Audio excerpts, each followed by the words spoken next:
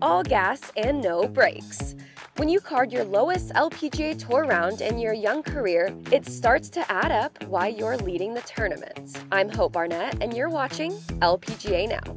Let's get into it.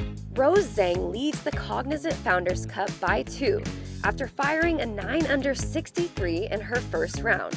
And you could tell she was happy with this start on 8. And that birdie was just one of four that she made all in a row. She had this uphill putt on 9 to make the turn at 6 under. It was almost just auto command kind of golf. Um, I feel like in the last couple weeks it's been a little bit difficult. I've been struggling a little bit with the golf swing um, and gaining confidence in my preparation. Um, but going into this week, I kind of let it all go, let all the expectations go a little bit more, and I was able to free myself up a little bit, which was really nice to see some shots go in, and um, especially on the greens, I was able to get some putting putting momentum in, so it was really nice. in second is Swede Madelene Sagström.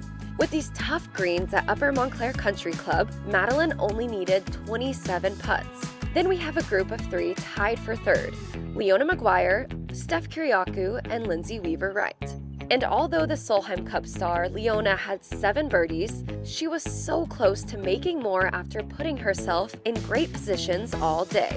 And just take a look at this wedge magic from Lindsey Weaver Wright. So with Rose Zhang leading the charge, we have a big weather change on deck for Friday.